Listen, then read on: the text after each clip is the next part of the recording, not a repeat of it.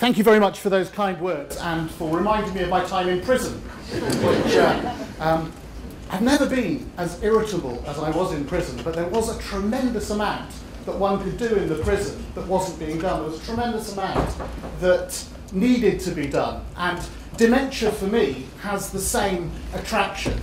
Uh, it is the fact that it ain't right at the moment. It is the fact that there's so much that we can do that we're not doing. And that's what I'd like to talk about in the next 50 minutes. Thank you very much for coming, all of you. It's a, it's a very scary uh, audience, by the way.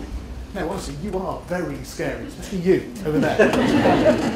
it's a very scary audience because you're, you're, a mixture. You're a mixture of people. If it's just academics, I can talk to academics.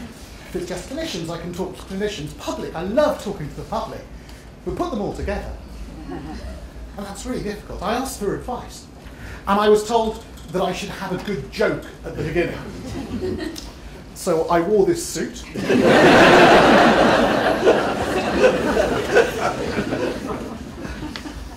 How could there possibly be reasons to be cheerful about dementia? Dementia is a devastating set of illnesses.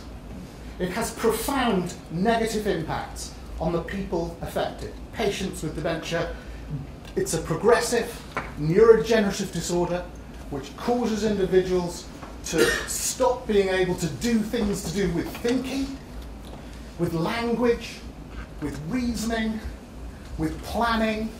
It interferes with people's activities of daily living. It stops people from being able to eat and care for themselves and dress. It interferes with people's psychological and behavioural function as well. So people get depression and psychosis. Awful things happen to people with dementia. And the families of people with dementia also have you know, complicated, severe, enduring needs that are caused by that dementia. So what possible reason could there be for being cheerful about dementia? Well, let me take you on a journey. A journey back through time. A journey through the time tunnel back to 1979. But let's think of 1979. 1979, 25 years ago. What was it like in 1979? Ian Dury was able to find all of those things to be cheerful about in 1979. So was 1979 a particularly exciting, particularly happy, particularly wonderful year? Let's take a look. So, the winter of discontent. We had uh, strikes of the bin men across England. There were strikes of grave diggers in Liverpool so that warehouses were full of coffins. There was terrorism on the streets of London. Here we see Airey Neave's car being blown up by the INLA at the Houses of Parliament, right at the centre of government, terrorism. Sid Vicious died.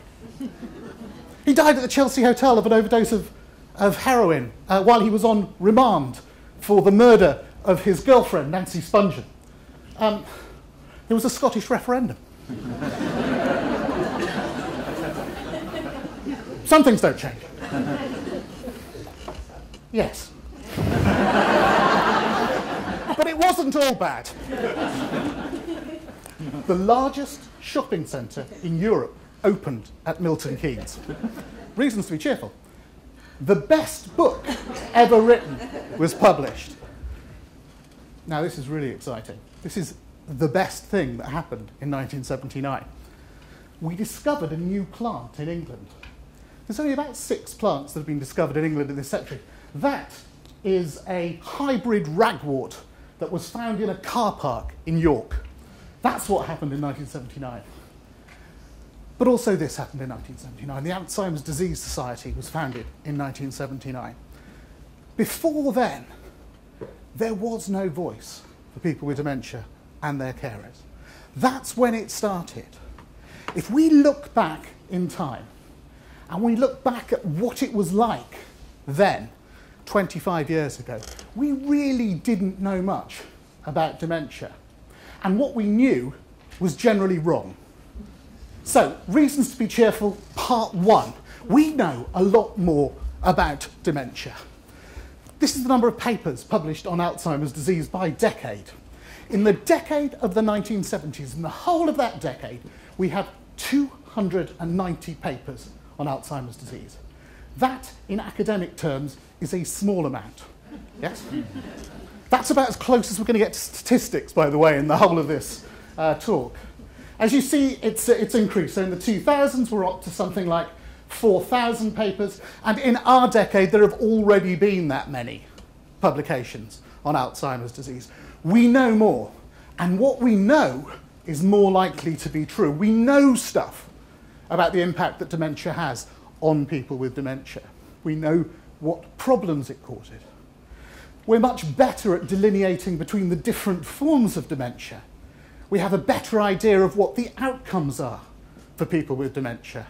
We have an increasing understanding not only of the causes of dementia, but potentially of treatments and working towards cures for dementia, but also in terms of how we provide better quality care for people with dementia.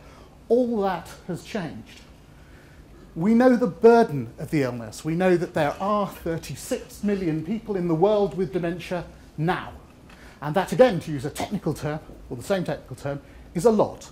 There are a lot of people with dementia in the world, and the numbers will increase. With that driven by one thing and one thing only, which is population aging.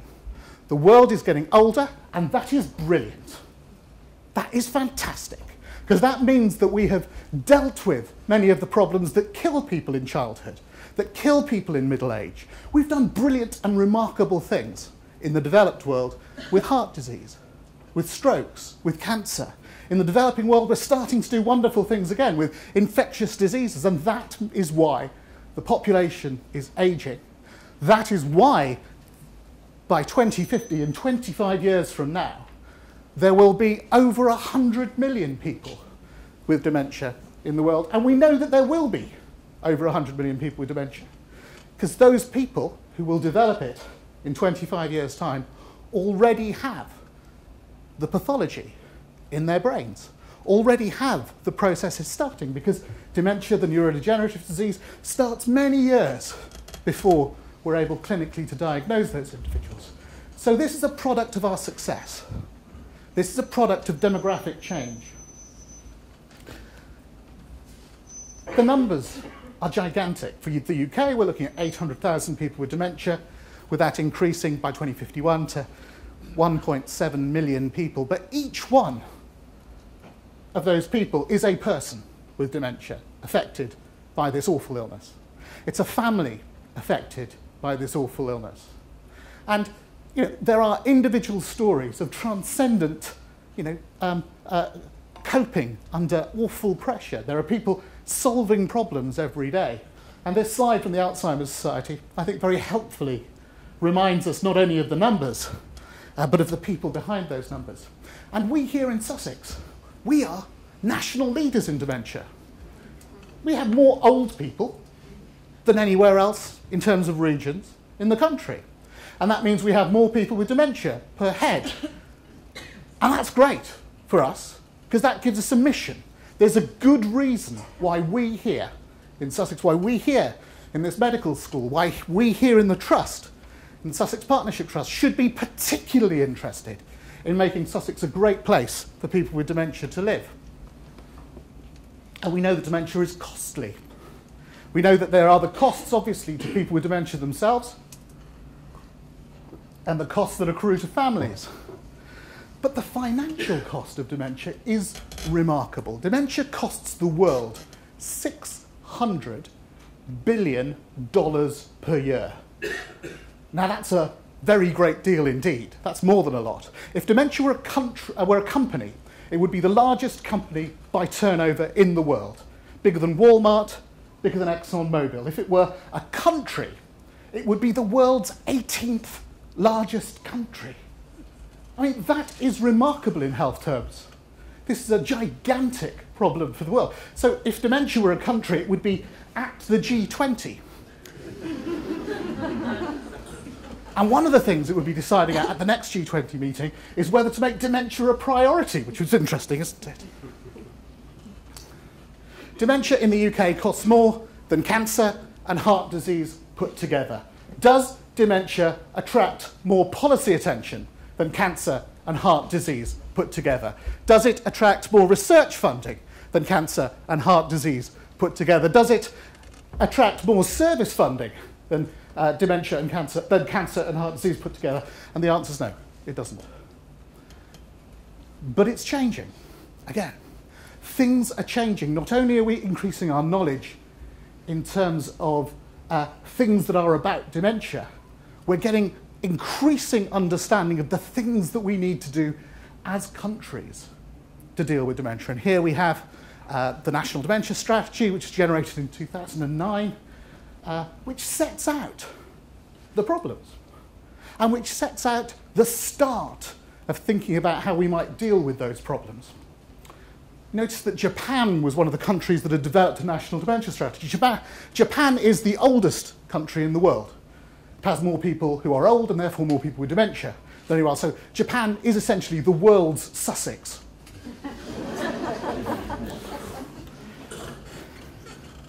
But there was a problem in Japan.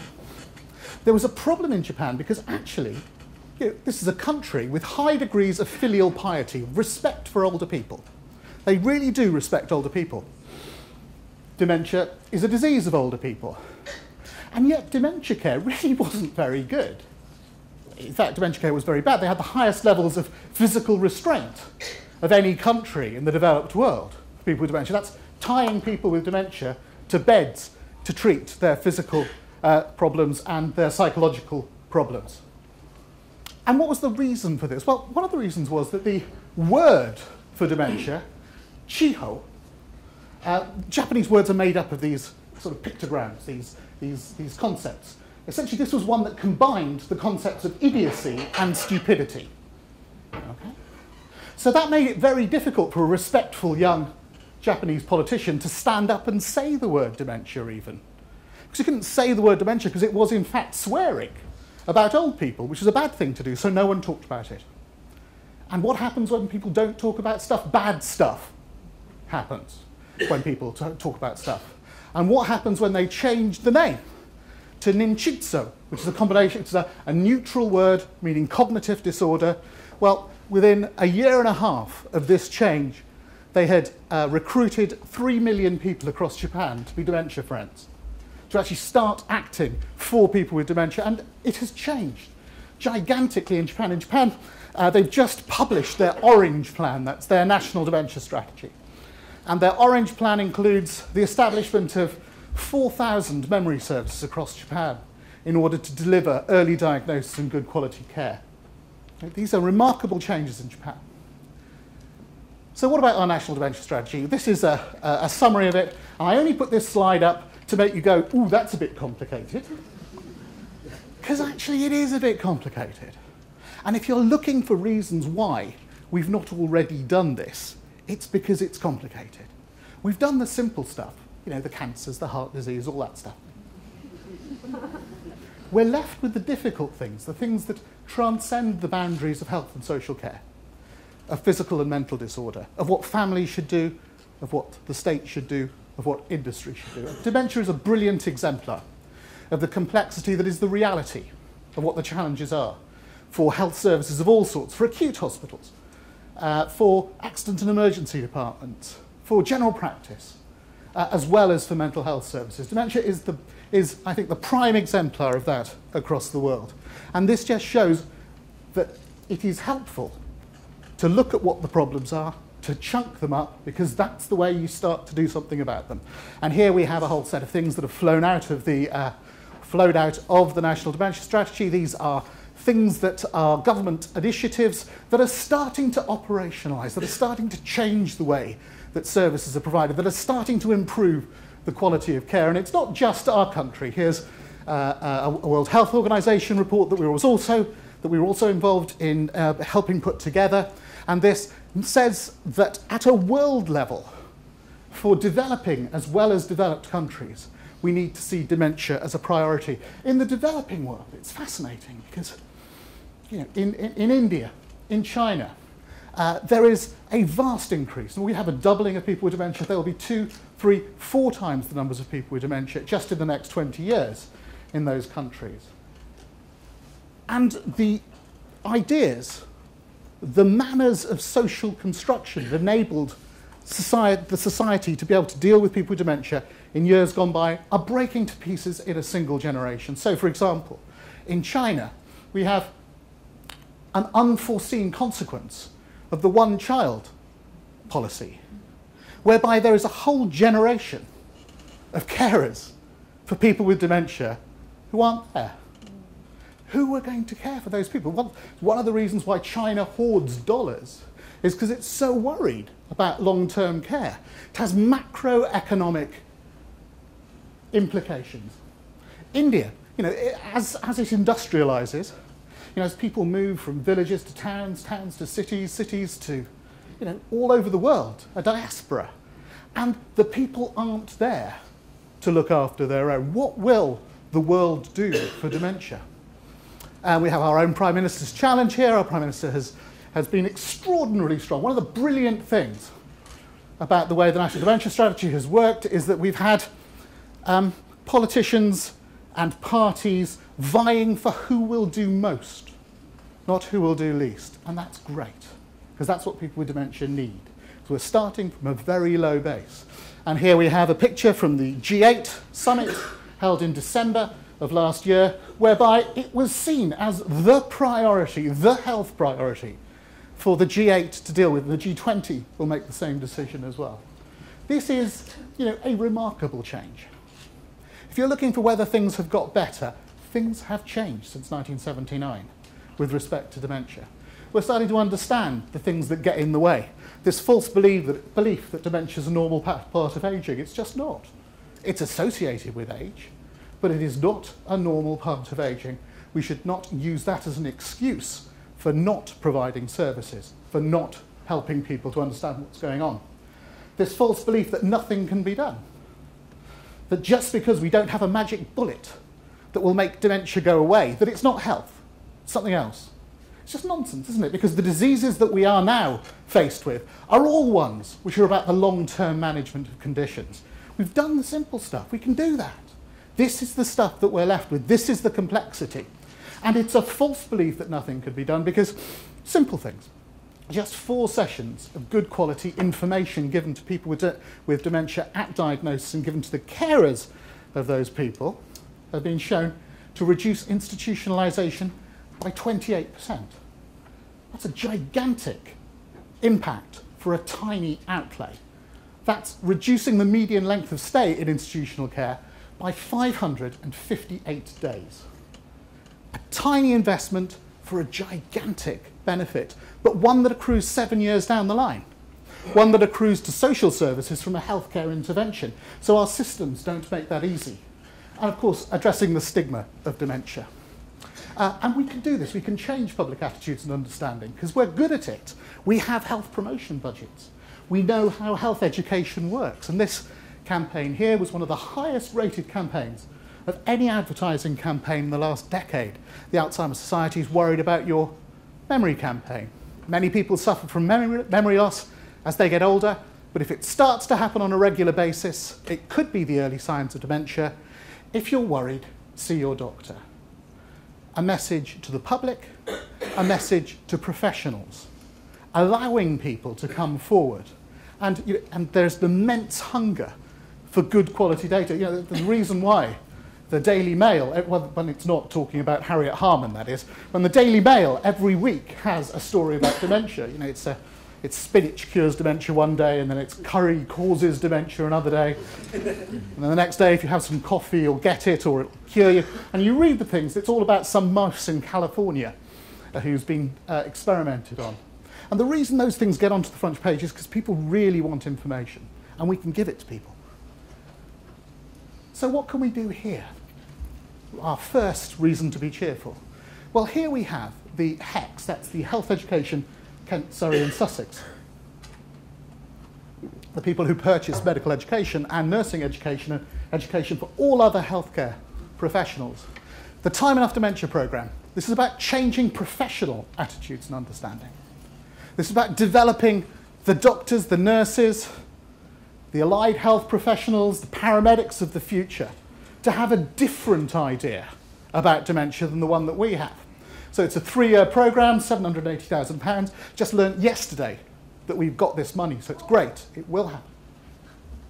It's funded by HEX. It's a collaboration. And this is really important. I mean, this medical school is good at collaboration because it is a collaboration, as we've heard, between the two universities, between various, uh, various mental health and acute health trusts. It doesn't work without collaboration.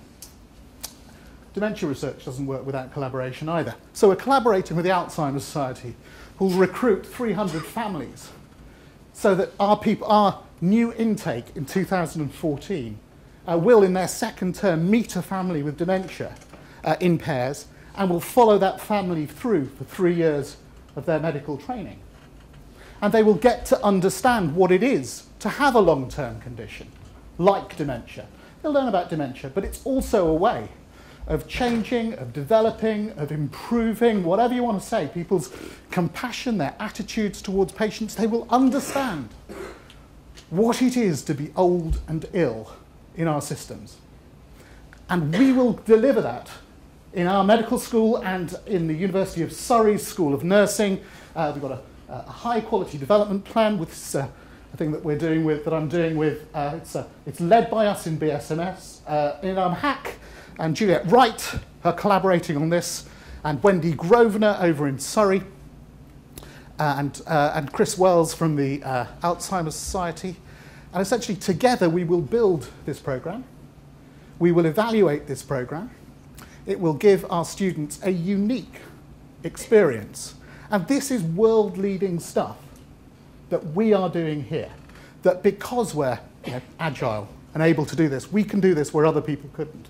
So that's something we will deliver to change professional attitudes and understanding. So that's a reason to be cheerful, I think. Reasons to be cheerful, part two. Our second part focuses on better diagnosis of dementia. Now, the problem is that most people who've got dementia don't know they've got dementia and never know they've got dementia. Only 44% of people with dementia at the moment ever get a diagnosis. And that needs to change. Because when they do, it's late in the illness, often at a time of stress, often at a time of crisis when people go into a general hospital. Uh, when it's too late to prevent harm, it's too late to prevent crises. And that's really important because that preventative agenda is there in dementia. Yes, we need to think about preventing the illness happening in the first place. But we also need to think about preventing the harms that accrue to individuals. And we can do that. There are already things that we know we can do, like the information that stops people from going into care homes, for example. We can change things. Our goal must be 70 or 80% of people with dementia diagnosed, and when they're diagnosed, receiving it earlier rather than later so that they can make their own choices. Diagnosis, in and of itself, as long as it is made well, so it's accurate, as long as it is communicated well, so that people can use that information, as long as people get the information support they need at the time of diagnosis, is a good in and of itself for people with dementia, and it's one that we deny the majority of people with dementia at the moment. There's a lot of talk about what timely means. Timely diagnosis for me is responding when people have problems. It's not about population screening. There's absolutely no reason or rationale for doing that. People would like to do it, and there's a world of research. It's about earlier diagnosis. But it's not the world of intervention. It's about bringing people from this late stage diagnosis, and most people not being diagnosed, through to this timely diagnosis. That's what our strategy is about. That's what all sensible national strategy is about and we can do it. These are data from the uh, development and evaluation of the Croydon Memory Service model, which I was involved in uh, in my last job. And what we showed is that it's perfectly possible to generate services that work really well, that actually work for the whole population, not just the lucky few, that actually are complementary to existing services, and that do those three things. They make the diagnosis well, they communicate it well, and they provide immediate care and support. And these services have high acceptability, low levels of inappropriate referral. They work for minority ethnic groups and people of all ages. They improve quality of life. They decrease behavioural disorder. They lift us up from seeing 15% of people early to about 70%. We can do this. They're clinically effective. They're also cost effective if we were able to, this is modelling that we carried out with and for the Department of Health, and what this shows is if we prevent 10% of admissions to care homes, and you know, care homes are necessary. There are brilliant care homes out there doing fantastic work, and some individuals are much, much better off being in a care home than being in their own home. Just not everybody that goes into care homes. And if we prevent just 10% of those admissions, we break even in terms of generating a national network of these services. And in 20%, we start giving money back into the system to be able to improve care and to deal with rising demand. One of the questions that gets raised is how we tell whether the services that we provide actually help the people that we wish to help. So a service is very unlikely to improve someone's cognitive state. It's not going to make your memory any better, but does it improve your life? We know that there are things that we can do that sometimes have a bad effect. So if you have a person with dementia who perhaps has a behavioural problem, so they're perhaps a little anxious and they're asking the same question over again, and the, you know, their, their wife is concerned, and so you go to the doctor and they give the person an antipsychotic, if you were to measure the symptom before and after, the symptom may well have gone down. But has the patient's quality of life improved? Almost certainly not.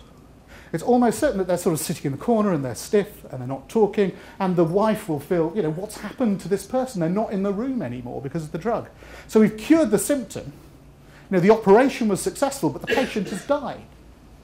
And that's why in illnesses like dementia that are complicated, we need not only these fine measures of individual function, but also broad measures of the overall effect of what we do. And part of my research uh, has been to develop such measures. So here we have two monographs from the HTA that are from two programs that we carried out. First to develop the system, the DEMQOL system, and then to carry out utility weighting so that it can be used for economic as well as uh, clinical investigation. And using it on the Croydon Memory Service model that we've seen here, what you see is that people who receive the service, their quality of life improves at six months and stays improved at 12 months. These are effect sizes that are double the effect size of anti-dementia medication. Okay? Our services do good for people. People are concerned that if you give people a diagnosis, maybe they'll get, you know, worried it's not good news being told you've got dementia. But it's not good news having dementia either. Ignoring it doesn't make it go away. What those data suggest is that if you do it properly, if you do it well, then people's quality of life improves. And that's important. But if we can measure quality of life, we can also start to investigate what it is that drives quality of life for people with dementia. And, I, and this is a study that we carried out that shows you know, absolutely counterintuitive findings. So, the mini mental state examination, MMSE up here, that is a, a very commonly used measure of uh, cognition, of memory, of your ability, your brain abilities. And we can measure that very well, and it's often used as the, the central thing that happens in dementia. What this shows, the smaller the number, the smaller the association, is that mini mental state scores, so cognition, has no effect on quality of life for the person with dementia. The, the, the BI that we have there, the ADL score, that's activities of daily living. Again, something that we very commonly measure as our prime outcome in dementia. The, uh, people's ability to do things for themselves, to, to, to, to dress themselves, to eat, those sorts of things. And what we see here is that acti activities of daily living have absolutely no effect on quality of life. They just don't matter in quality of life terms. We'll come back to this. I mean, it's, a, it's an interesting finding. But what we do find is that a whole variety of things that are to do with agitation, anxiety, disinhibition, irritability, that's what drives poor quality of life for people with dementia. Here we have some multivariate analyses which take the same thing, and what they show is the same thing that NPI, so that's behavioural disturbance, powerful driver of quality of life, mini mental state, activities of daily living, trivial what we also find is that patient age is associated. So people who develop their dementia younger have worse quality of life than older people who develop that dementia. And that may well be societally generated, things to do with expectations, things to do with experiences, for example.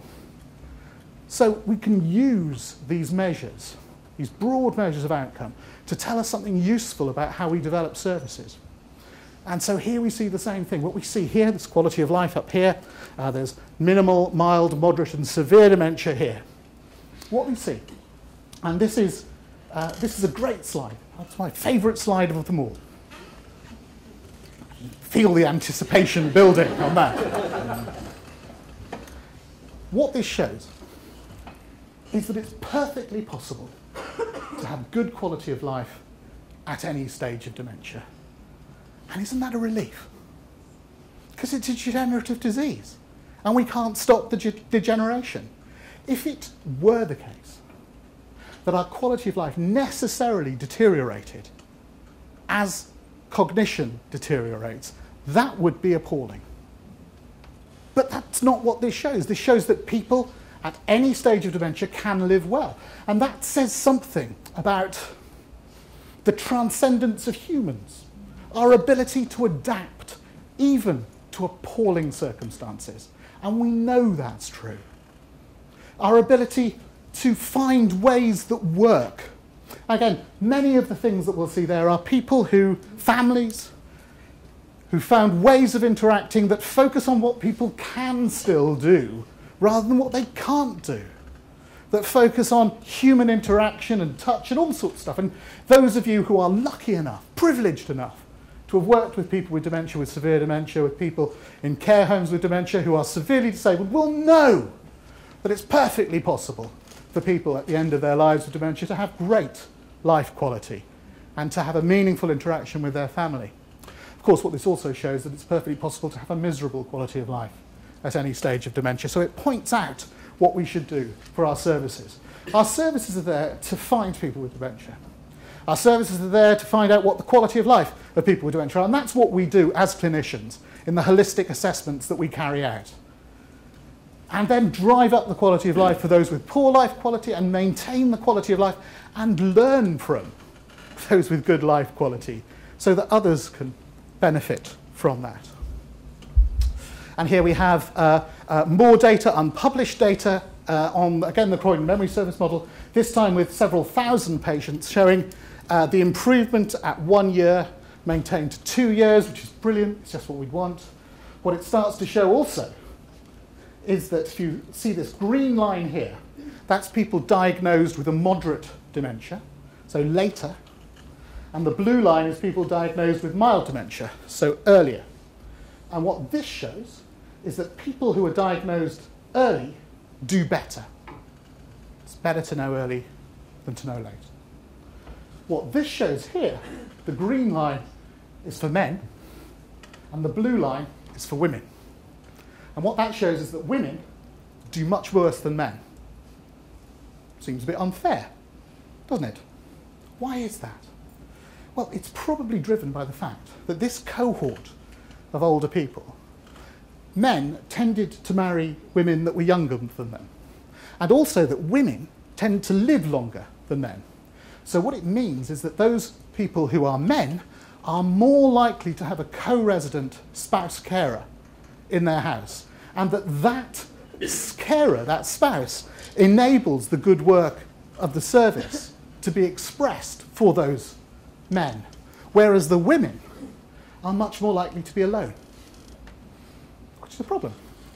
And, you know, there's a conclusion one can draw from this, of course, which is that if you're a woman and you're approaching your 50s, then it's probably a good idea to trade in your husband for one about 15 years younger, then you should be all right. Just a tip. And diagnosis is changing. We are starting to change the numbers that are diagnosed. Yes, it's only 44%, but it's improving. This is data from the quality outcome framework registers that we have. But it's weird. Because there are people out there, sincere people, good people, some of them, um, who don't like the idea that we're focusing on dementia. who don't like the idea that we're diagnosing more people with dementia. And there's some perfectly good reasons for this. This is a paper from the BMJ's Bad Medicine, or Too Much Medicine uh, campaign uh, series. Actually, if you analyse what's going on here, a lot of it is about fighting other battles over the bodies of patients with dementia. So it's things that are about national diktats and QOFs and quips and all the rest of those uh, incentives that are out there. Yes, it's about concerns about the evidence base, but they're tiny concerns. And we have to make decisions on the basis of uncertainty. That's what we do as doctors, as nurses, as allied health professionals. And the language is remarkable. This paper includes the paragraph at the end, which talks about the curse of diagnosis. Which, which, which other disease would people feel able to use this sort of language about? And whose illness is it anyway? It's the people with dementias. You know, is knowledge power for people with dementia? Yes, it is. Is ignorance bliss? No, it's not.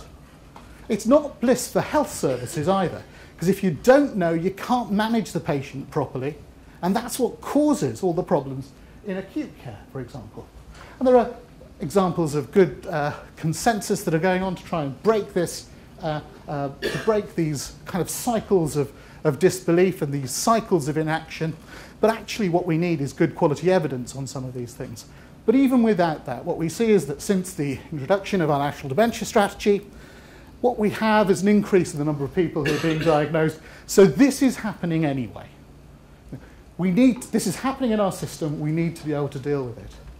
And there are simple things that we can do. Here's an example of some work that uh, we did here from Brighton and Sussex Medical School. Uh, myself and Rita Flaherty, who's from uh, the Division of Medical Education here, ran a course for London that was about giving, though, giving GPs a deep understanding of the issues of dementia and also the leadership skills to be the next generation of leaders for dementia in primary care.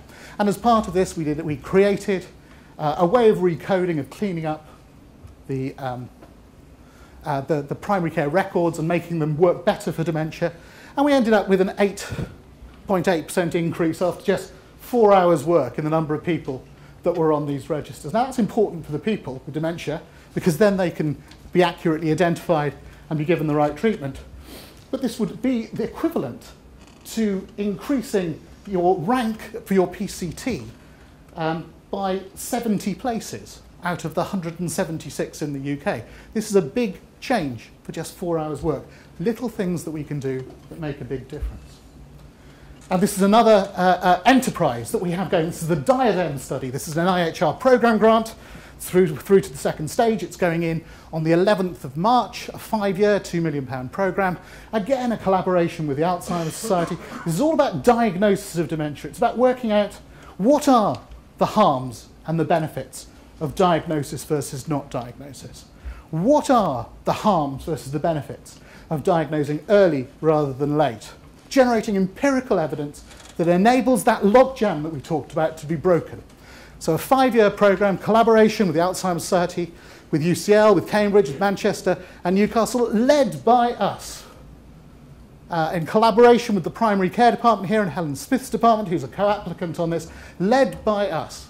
Understanding these benefits, and again, world leading and unique. This is stuff that we can do, stuff that we will do. So the last reasons to be cheerful. There are three of those. One, two, three. Reasons to be cheerful, part three. So better prevention and better treatment of dementia. So here we have um, a paper from The Lancet, end of last year, uh, from uh, Carol Brayne, the CFAS studies, basically looking at uh, the differences over 20 years of two epidemiological studies. And here's a uh, uh, the editorial that I wrote to go alongside that. And what it shows, and this is brilliant, is that the age-specific prevalence of dementia is going down. So in a particular age group, our risk in this 20 years, 20 years ago was higher than it is now. And it's consistent across all these age groups. And what this shows, and you know, this shows that we can decrease the numbers of the, the risk of individuals developing dementia. And the, the thing that's happened here is all the brilliant work that's been done for heart disease and cancer. So it's all those lifestyle changes. It's stopping smoking. It's improving your diet. It's improving exercise. That's starting to have an impact. Now, it won't get rid of dementia. It won't stop the numbers rising because our population's aging, but it will slow things down. And at a population level, this is tremendously important and valuable. There is a two edged sword here, of course. Things that we have done have decreased the prevalence. Things that we may do may increase it. So if we all start smoking again, or if, we, or if there is a, uh, an epidemic of obesity, which there is, if people don't exercise, then maybe it'll go the other way. But this is great news. It shows there's prevention. So some other possibilities of improvement. Antipsychotic drugs. This is a report that I carried out for the Department of Health. We identified that 1,800 deaths were attributable to antipsychotics being used for the treatment of behavioural disorders and dementia. Now, the problem about antipsychotics for behavioural disturbance and dementia is that they actually don't work very well at all. But they do have side effects, and they have side effects that are specific to dementia. So these are deaths that would not have happened had these individuals not been given this drug and had they not had dementia. So 1,800 deaths. So what to do? Well, you know, there's a, a set of system things that one might do using clinical governance systems. The media was able to latch on to this because it's a simple thing. In a complex world, we found a simple marker of good and bad quality here. And that led the Care Services Minister at the time, the last one, Paul Burstow, uh, to say, we'll sort this out. We will use not new money, but the existing resources of the Department of Health, which are there, the existing clinical governance structures that exist in primary care and in other places to address this. This is something that we want to change, and it's changed. We've half the numbers of people who are on these drugs since 2009. And with that, we've saved 900 lives per year. So things have changed. Let's look again at that acute side of things. 70% of people in general hospitals are old. Old people are who go to hospitals now. Dementia is common. So up to half of those people may have dementia because dementia complicates everything. So it makes it more likely that the really great community things that we put in place don't work. So dementia predicts admission. It's also a prediction of all the bad things that can possibly happen in hospital, from mortality to increased stay length to readmission, all of those things. But this is the bit that really gets me. It appears that 30% of people who go into a general hospital with a dementia from their own home go out to a care home. And some people are admitted, that's on every occasion that you're admitted, there is that chance. That means that general hospitals are, are, are, are machines for institutionalizing people. And of course, some of those people need to go in. For some people, it's absolutely the right thing. But for all of them, for 30% of people, and it's so inefficient because it costs so much to put these people into care homes. It, you know, it, the, a third of that money is borne by families themselves, more like a half here in Sussex, in fact.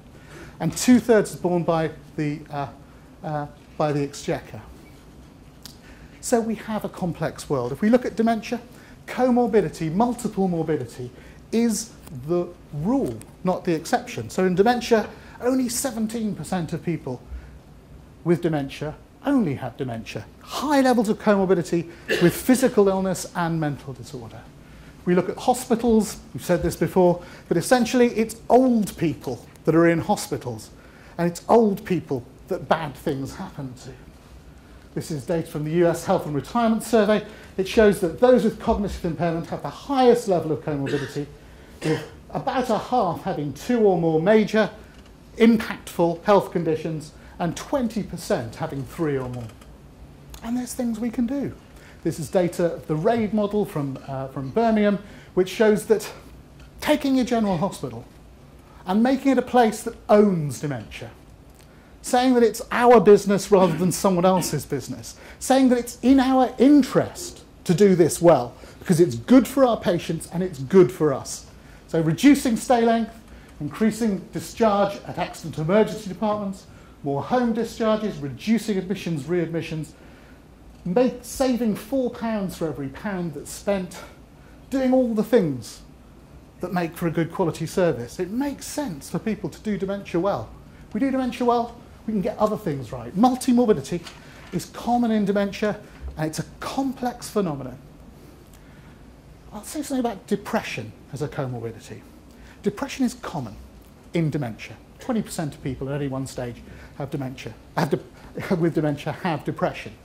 Causes high distress, low quality of life, problems for carers as well as the person with dementia. It's a bad thing to have. This is a study that we carried out, the HTA SAD study published in the Lancet in 2011. And what this shows is that what works for people without dementia, these drugs, so sertraline in the mirtazapine, uh, were compared with placebo. Sertraline and mirtazapine are two great drugs to treat depression. They treat depression well in people of all ages. They treat depression well in older people. They don't treat people well who have depression in dementia. Here there's no advantage of taking uh, sertraline compared to placebo or mirtazapine compared to placebo. So essentially, oh, sorry, there is a difference, but it's that you get more side effects. So there are twice the number of adverse effects if you take the antidepressants, but no effects. And what that means is that it's different in dementia, and that's important because that's an exemplar of the fact that what works in simple conditions may not work in complex conditions. Depression is different in dementia. There's a read across to all sorts of illnesses. So what's the use of antidepressants? They're different in dementia. You've seen that the side effects, the adverse effects, the mortality is different in dementia with antipsychotics compared to people who do not have dementia. We've seen that the effects are different for people with depression and dementia in that the antidepressants don't work anything like as well. So differences in effects and harms. need to be very careful in generalizing findings from non-demented populations to people with dementia in terms of both effects and harms. But that would be the same as for generalizing findings from, from simple populations to complex populations. Multimorbidity is all about complexity and different rules apply. This is my one equation here. This is the one thing that you can perhaps take away with you here. Because this is about all illness. This is about the real illness that's in our general hospitals. We don't have people with a single funny thing going on with them anymore. So you've got somebody with condition A and condition B and condition C, and you're interested in what the treatment for that individual is. It's very unlikely to be a straight treatment A, treatment B plus treatment C, but the services that we've generated over the past 20 years have kind of become increasingly specialized. So you get people who are really brilliant at treating one organ or one bit. The trouble is the patients that come in, they've got more than one thing going on. And it may be that the treatment of A plus B plus C is you know, A plus C, but not B, or A plus half of B. We don't have the evidence. We don't do trials on these groups. And so we don't know what to do. Getting to the end. So, Dr. McCoy and Spock. And what do we have here? A game of chess, yes? But not as we know it. This is three dimensional chess. Dr. McCoy, the doctor, he's really good at chess, but he's really good at two dimensional chess. Spock knows three dimensional chess because he's very clever. McCoy plays Scott at three dimensional chess. What happens if he plays three-dimensional chess using the rules of two-dimensional chess. Does he win? Does he lose? He loses. He loses. But that's what we do every day.